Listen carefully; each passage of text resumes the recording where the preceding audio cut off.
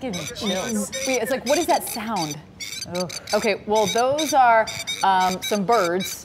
This is in on a golf course in Singapore, and those birds are refusing to let the golfer get to his ball. So Talk about angry ball. birds, Yeah, right? Like right. legit angry birds. Yes, and it seems that the birds had mistaken the golfer's ball for one of their eggs, so they reacted defensively. Just the, the noise puts me in like a Hitchcock movie, and I'm done.